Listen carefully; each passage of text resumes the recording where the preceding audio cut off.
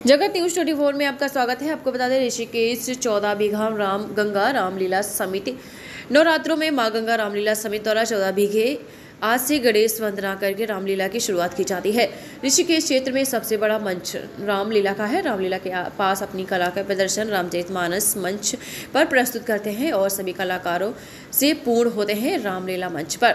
सभी लोग मंच पर आए हुए कलाकार आपस में अच्छी कला का प्रदर्शन करते हैं रामलीला की शुरुआत करते वक्त श्री गणेश जी की वंदना प्रारंभ करते हैं।